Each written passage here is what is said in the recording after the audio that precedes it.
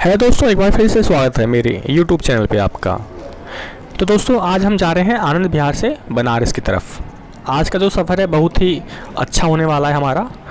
हमारी जो ट्रेन है, वो है गरीब रथ एक्सप्रेस, जो बनारस से आनंद बिहार टर्मिनल चलती है और आनंद बिहार टर्मिनल से बनारस के लिए चलती है। इसके जितने भी डब्बे हैं दोस्तों, वो सा वो सभी एसी के डब्बे हैं। और आपको मैं बता दूँ, यह ट्रेन कई वर्षों से सेवा में, रेलवे की सेवा में तत्पर है। और दोस्तों, आपको बता दूँ कि आनंद बिहार रेलवे स्टेशन हमारे घर के बिल्कुल दस मिनट की दूरी पर है। तो ये जो इसमें लोकोमोटिव लगा हुआ है, वो गाज़ियाबाद का लगा हुआ है। गाज़ियाबाद का लोकोमोटिव है इसमें। इंडियन रेलवे एक बहुत ही बड़ा नेटवर्क है हिंदुस्तान का, जिसमें करोड़ों यात्रियाँ अपना सफ़र करते हैं। और एक बिल्कुल साफ़ सुथरा स्टेशन, आनंद बिहार टर्मिनल। हमारी जो ट्रेन थी, वो पहले से ही लगी हुई थी। हम आधे घंटे पहले पहुँच चुके थे आनंद बिहार रेलवे स्टेशन। इसका जो टाइमिंग है छः बजकर पंद्रह मिनट का है। जी टेन हमारी बोगी थी। और देखिए, बिल्कुल साफ़ सुथरा रेलवे स्टेशन है यहाँ पर। तो दोस्तों आपका जो सहयोग है, उसी की वजह से ये साफ़ सुथरा रह पाता है। तो आपसे निवेदन है कि जब भी आप आप जाएँ तो रेलवे स्टेशनों को साफ़ सुथरा रखने में उनकी मदद करें। तो हमारी जो छः बजकर पंद्रह मिनट की टाइमिंग थी, वो बिल्कुल करेक्ट निकल चुकी है हमारी ट्रेन आनंद विहार से बनारस की तरफ़। बिल्कुल छः बजकर पंद्रह मिनट का टाइम था इसका, और आनंद विहार को हमने करते हैं बाय बाय तो हमारी जो ट्रेन थी, बिल्कुल टाइम से निकल चुकी थी छः बजकर पंद्रह मिनट पर खेतों का सीना सीना चीरते हुए हमारी जो ट्रेन है वो बढ़ती जा रही है बनारस की तरफ़। बहुत ही मनमोहक दृश्य दिखने, दिखाई दे रहे हैं। दोस्तों, हमारी जो ट्रेन काफ़ी तेज़ स्पीड से जा रही है।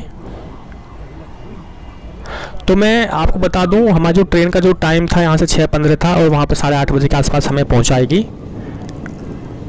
तो हमारी जो ट्रेन थी, दोस्तों, वो लगभग दो घंटे लेट हो चुकी थी बनारस आते आते इसका जो डिस्टेंस था वो 735 किलोमीटर इसको कवर करना था। तो हमारी ट्रेन दो घंटे लेट थी। दोस्तों, हम दो घंटे लेट हो चुके हैं, बनारस आते आते। हमारी जो ट्रेन थी दो घंटे लेट है। और आपको बता दूँ कि यहाँ से मंदिर जो, मंदिर की जो दूरी है, वो है चार से पाँच किलोमीटर के अंदर। आप बाहर से ऑटो पकड़ सकते हैं दोस्तों। तो इसके दोनों तरफ़ गेट हैं। रेलवे स्टेशन के और आपको बाहर से ऑटो मिल जाएँगे आसानी से मंदिर तक। तो आप जाकर मंदिर से एक किलोमीटर पहले ही आप रूम ले सकते हैं। जो रूम का रेट होगा वो हज़ार रुपये से और पंद्रह सौ रुपये के बीच में आपको मिल जाएगा आराम से। तो आपको कोई भी दिक्कत नहीं होगी रूम ढूँढने में। यहाँ पे बहुत सारे होटल्स हैं, रूम्स हैं। बनारस का जो स्टेशन था, वह बहुत ही साफ़ सुथरा था। आई लव बनारस लिखा हुआ था और ऊपर हमारा तिरंगा लहरा रहा था, दोस्तों। बनारस शहर जाना जाता है भोले बाबा की नगरी के नाम से, जो काशी विश्वनाथ मंदिर है इसमें, ये एक बारह ज्योतिर्लिंग में से एक ज्योतिर्लिंग है यहाँ पर। काफ़ी साफ़ सुथरा रेलवे स्टेशन था। तो आपसे मैं बता दूँ कि आप जब भी जाएँ, बनारस तो ज़रूर घूम के आएँ। तो सबसे पहले हमने दर्शन किए श्री आदिशक्ति माँ दुर्गा के। यह मंदिर बनारस के पास ही था। और आदिशक्ति दुर्गा माँ के दर्शन करने के बाद ये देखिए दोस्तों, आदि शक्ति माँ दुर्गा, ये सिद्ध पीठ है यहाँ पर। और यहाँ पे वैसे फ़ोटो अलाउ नहीं था बट मैंने कोशिश की थोड़ी सी वीडियो बनाने की, यहाँ पर वीडियो शूट करने की।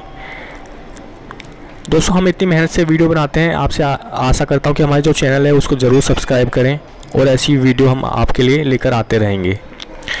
तो हम माता रानी के दर्शन करने के बाद हम पहुँचे श्री सत्यनारायण तुलसी मानस मंदिर। तुलसी मानस मंदिर के चारों तरफ़ एक छोटा सा एक पार्क बनाया हुआ था। पार्क में काफ़ी साफ़ सफ़ाई थी। आप अपना समय पार्क में बैठकर बिता सकते हैं दोस्तों। और हम चलते हैं, चलिए मंदिर के अंदर। एक काफ़ी बड़ा मंदिर था। हमने, ये देखिए यहाँ पे थोड़ा सा काम चल रहा था मंदिर के अंदर। काफ़ी शांति थी मंदिर के अंदर, भीड़ भड़का नहीं था दोस्तों।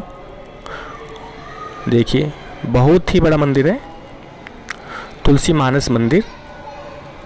तुलसी मानस मंदिर, दुर्गा माता मंदिर और श्री संकट मोचन हनुमान मंदिर। ये आसपास ही है मंदिर। तो आप छोटा सा एक ई रिक्शा करके भी आप घूम सकते हैं।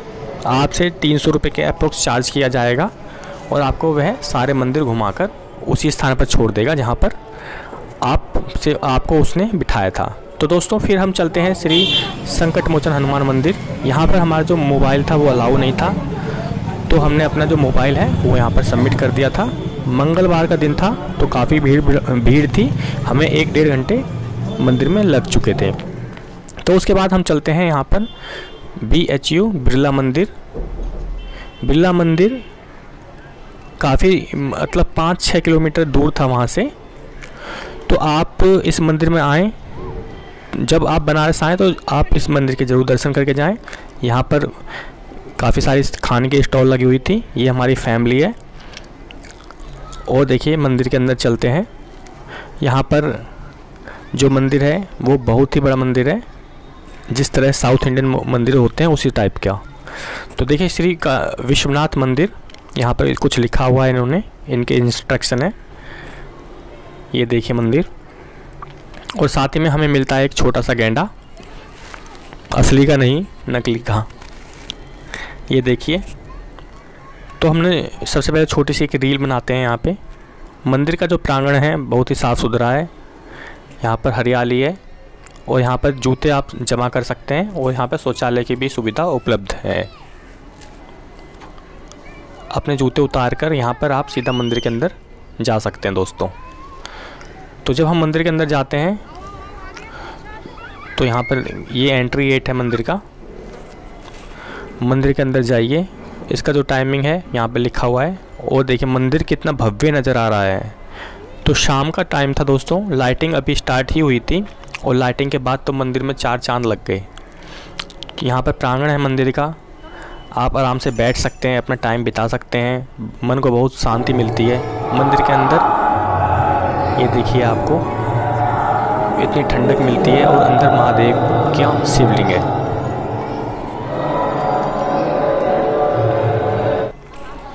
दोस्तों, और हमें टाइम बीत चुका है यहाँ पर। हम बच चुके हैं शाम के सात बजे। और देखिए यहाँ पर, मंदिर आपको दिखाता हूँ जिस जिस तरीके से साउथ में बने होते हैं, उस तरीके के मंदिर है। काफ़ी नाम है मंदिर का, बिरला मंदिर बी एच यू कहते हैं इसे। और सामने नंदीदेव महाराज हैं। शिव जी के साथ में। तो हम शाम को पहुँच जाते हैं गंगा आरती के लिए। हम हैं अभी इस समय अस्सी घाट पर। अस्सी घाट पर हम गंगा आरती ले रहे हैं और ये गंगा जल के छीटे मार रहे हैं।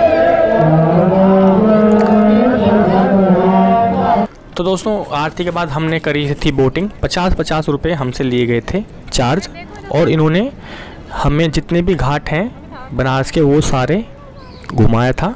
कम से कम 40 से 45 मिनट के आसपास हम, हमने ट्रैवल किया इसके अंदर बोट के अंदर। तो काफ़ी सारे घाट हमें दिखाई दिए यहाँ पर। काफ़ी फ़ेमस घाट थे। तो अगर हम पैदल भी जाना चाहें तो पैदल हम जा सकते हैं एक घाट से दूसरे घाट तक, पैदल। क्योंकि यहाँ जितने भी घाट हैं वो सारे सटे हुए हैं। अगर आप बोटिंग करें तो आप जैकेट ज़रूर पहने। और बच्चों को पकड़कर साथ में रखें। क्योंकि बच्चे कभी कूदे ना या परेशान ना करें, क्योंकि गंगा जी का पानी बहुत गहरा है, इसलिए। तो यहाँ पर मैं आपको दिखा दूँ, ये देखिए, यहाँ से स्टार्ट होते हैं घाट और यहाँ पर घाट लाइन से बने हुए हैं दोस्तों। लाइन से सारे घाट एक से एक सटे हुए घाट हैं यहाँ पर। सारे घाट सटे हुए हैं और यह नाव हमें धीरे धीरे घाटों को पार कराते हुए लेकर जाएगी हमारे द्वार से, जहाँ इन्होंने बिठाया था अस्सी घाट पर। तो हम सुबह पहुँच चुके हैं दोस्तों, गंगा जी। हमने सबसे पहले गंगा जी स्नान किया।